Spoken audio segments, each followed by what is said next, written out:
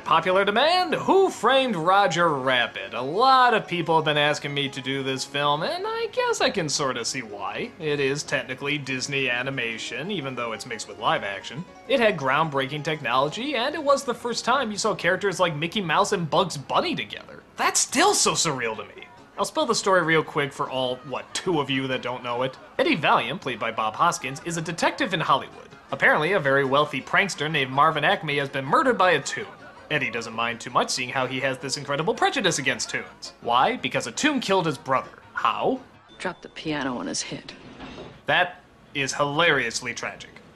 Everybody thinks Roger Rabbit is to blame, and so he goes to Eddie Valiant to try and solve the case. Despite his prejudice, he does believe that the rabbit is innocent. And so, with the help of the characters from Toontown, including Roger's saucy hot wife named Jessica, they set out to solve the mystery. I'm trying to think what I can say about this film that everybody else hasn't already. Everybody's seen it, everybody loves it. In fact, they more than love it. They go crazy for it. So, okay, let's talk about why people go crazy for this film, because to be honest, I never quite understood. I mean, don't get me wrong, I go crazy for it too. I am in love with this movie. But I mean, everybody in the world seems to like this film, even the biggest sourpusses. Is it the story? I guess, but I don't know. It's not really much of a mystery. I mean, take a guess who the bad guy is. No, really, come on, take a wild guess. Is it the characters? Well, yeah, they're pretty good too, but again, nothing really groundbreaking. We've seen characters with prejudices before and they go through a story arc that changes them back. Is it how technically groundbreaking it is? I suppose, but there's a lot of technological groundbreaking movies that people don't go gaga for like they do with this movie. Even the idea of live action actors interacting with cartoons is not a new idea. It's been done almost since the beginning of animation. So really, what's the secret formula that everybody can identify with? Well, I thought about why I like the movie. I mean, sure, the story and characters are great, but what is it I love about it now that I love just as much as when I was a kid?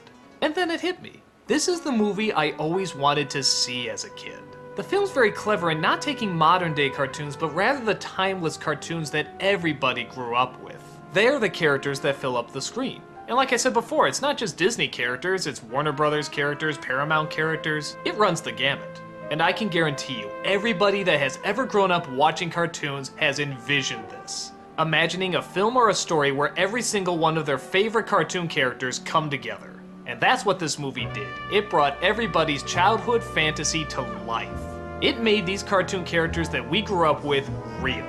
It treated them with the same dedication and love that we felt every single time we watched them. You don't see a modern day manipulation of Bugs Bunny, you see Bugs Bunny. You don't see a writer trying to recreate Mickey Mouse, you see Mickey Mouse. And because it was set in the past, everybody knows these characters and absolutely loves them. And because of the technology they have, they seem more real than ever.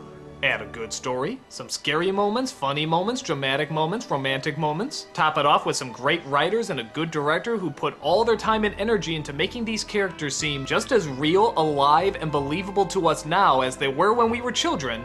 And you have a movie that captures all the zaniness, all the goofiness, and all the joy that we felt as children watching these cartoons. Quite honestly, it's a perfectly written love letter to our childhoods.